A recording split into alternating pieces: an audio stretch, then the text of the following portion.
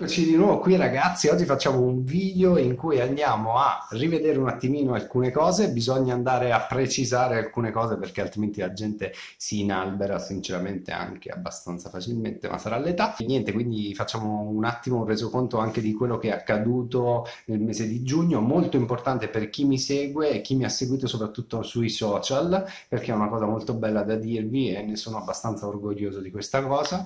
E, ehm, e poi niente, vi aggiorno su altre situazioni situazioni, quindi andiamo, non perdiamo tempo.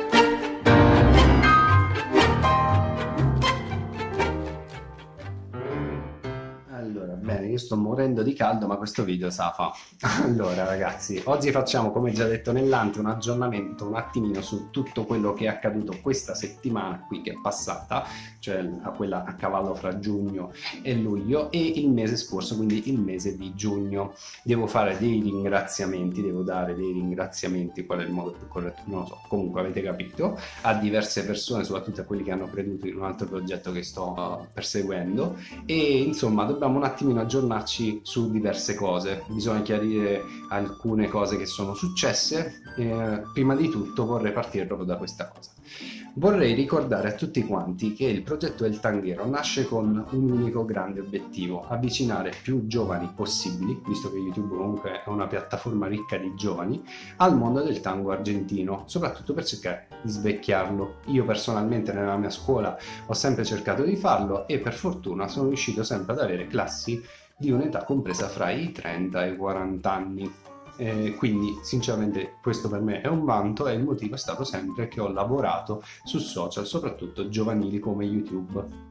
Per questo motivo il progetto El Tanghero è, nasce per essere semplice, diretto, cazzone anche, non serio come molte delle persone che sono all'interno del mondo del tango argentino. Quindi chiederei a chi invece ci tiene in maniera così visceralmente, ehm, in maniera seria, ad essere, ad, ad essere ehm, aggressivi verso l'altro semplicemente perché magari si è detto qualcosa in maniera leggera, ok? Di pensare due o tre secondi prima di scrivere qualcosa, perché altrimenti le persone che poi vanno a leggere quei commenti o si mettono lì e litigano inutilmente, motivo per cui non sono stato a scrivere eh, no, hai ragione, no, hai torto, sì, hai ragione, eccetera, eccetera, ma ho semplicemente risposto in maniera elegante. Tra l'altro, le persone che forse se la sarebbero dovuta prendere di più, sono state le persone, ovvero gli organizzatori, che invece sono stati più eleganti di tutti in assoluto e hanno dato i loro chiarimenti. Quindi eh, il video della settimana scorsa non era un video per promuovere i campionati della FIZ piuttosto che i campionati invece eh, direi tradizionali eh, italiani che si stavano facendo fino a prima ma era semplicemente un video per andarsi a leggere, oh, adesso sono usciti questi campionati, ma me li vado a leggere. Il primo errore che ho fatto, e chiedo scusa ai campioni italiani Fizz che ci sono stati in passato, purtroppo sul sito non li ho trovati, ehm, l'elenco dei campioni, ho scritto direttamente, ho il computer qui davanti, ho scritto direttamente delle mail per chiedere, così magari farò un video in cui dirò anche i nomi dei, campioni, dei campioni italiani eh, di tango degli anni precedenti.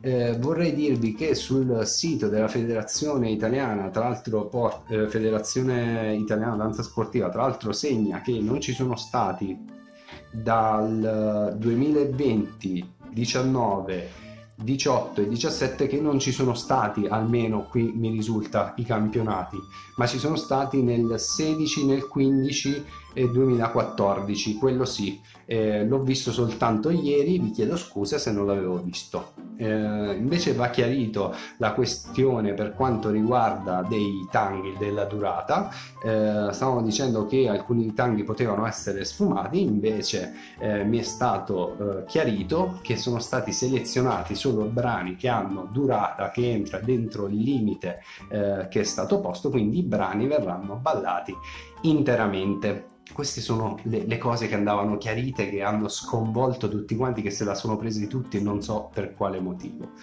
Eh, questo era quello che andava chiarito e quindi l'abbiamo fatto.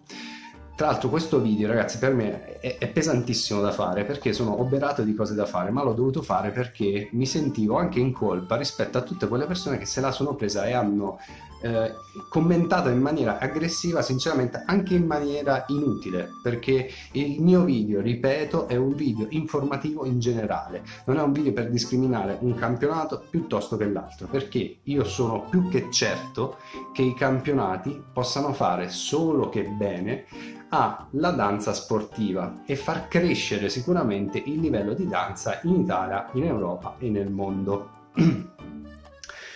Eh, personalmente, tra l'altro, insegno all'interno di una scuola eh, di latinoamericani dove fanno tutti quanti le gare ed è bellissimo vedere bimbi piccoli e i genitori li portano perché sono competitivi, questa è la realtà, per farli incominciare ad appassionare. Molto probabilmente, secondo me, con l'arrivo dei campionati FIDS ehm, in maniera così prorompente, diciamo così, ok, nella vita del tango, nel mondo del tango, sicuramente eh, avvicinerà eh, molti eh, genitori al, al tango insieme ai figli e questo è un bene sicuramente. Detto questo, prima che vada avanti nel tango, devo ringraziare tutte le persone che hanno creduto come me nel progetto cam.tv. Che cos'è il progetto cam.tv? È un nuovo social network, si chiama proprio cam.tv. Eh, potete vedere dei post che ho condiviso sulla mia pagina Facebook. Eh, sono dei, dei, post del mio lavoro principale, quindi poi se avete voglia andatevelo a guardare.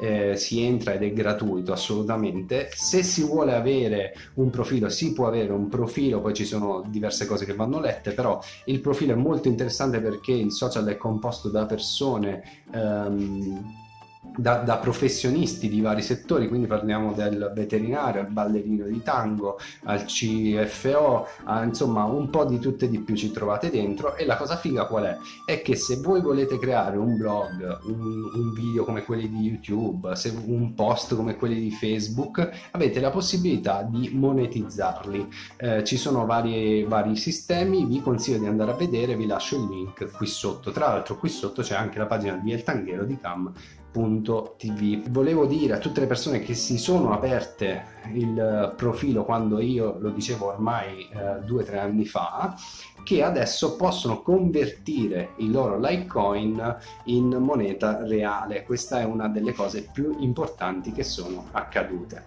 Bene, detto questa che era una piccola parentesi che andava fatta, torniamo un attimino al nostro amato tango. Che cosa vi volevo ricordare? Allora, 16 e 18 luglio 2021, quindi eh, praticamente stiamo parlando, sto registrando oggi è il 3, il video uscirà il 4, quindi domani, che eh, non la settimana prossima, quindi quella del 10 sabato, ma la settimana dopo ancora, ci saranno i metropolitani italiani di tango, eh, suppongo che siano i soliti eh, metropolitani che prima venivano fatti in giro per regioni, li racchiuderanno in un'unica volta eh, ad Igea Marina. Dove si trova Igea Marina, per chi non lo sapesse, sta un po' più a sud di Cesenatico, vi dico Cesenatico perché è conosciuta, è un po' più a nord di Rimini. Io sono di quelle zone lì, quindi vi consiglio magari di prendere eh, un B&B, una casa in affitto, un hotel nella zona di Cesenatico visitate Cesinatico che è bellissimo e poi vi andate a fare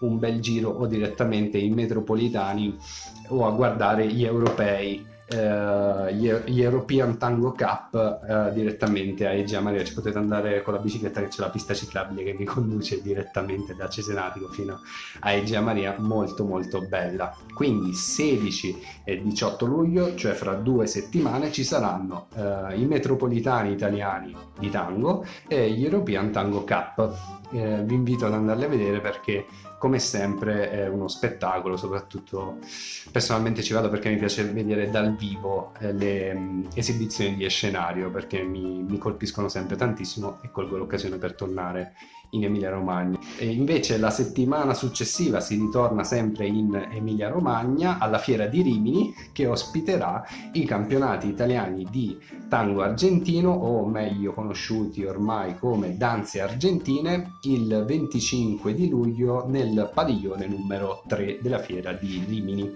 Eh, andatevi un attimino a leggere come funziona per entrare, per accedere perché per via del covid insomma ci sono ancora ingressi ridotti, va, va un attimo vista com'è la situazione.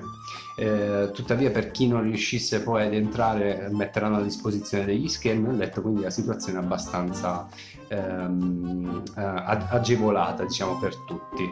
Questo era il resoconto della eh, settimana barra del mese. Spero che questo video così riassuntivo eh, vi sia piaciuto. Noi ci aggiorniamo la settimana prossima o quella dopo ancora. Io andrò su sicuramente per i campionati, quindi farò dei video per i campionati europei, metropolitani, euro, italiani, europei, insomma, per tutto.